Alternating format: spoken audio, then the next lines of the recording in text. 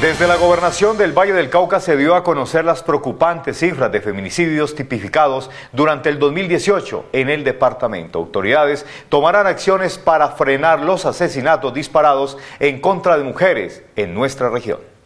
37 casos de feminicidio se presentaron en el departamento durante el 2018, cifra que tiene en alerta a las autoridades.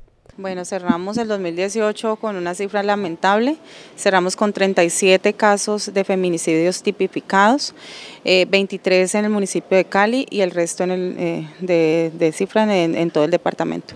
Varios casos que están eh, para tipificación. se hicieron dos nuevos casos de tipificación y esto nos aumentó la cifra a 37 casos el llamado es para realizar un trabajo mancomunado entre las administraciones municipales, víctimas y sus familiares.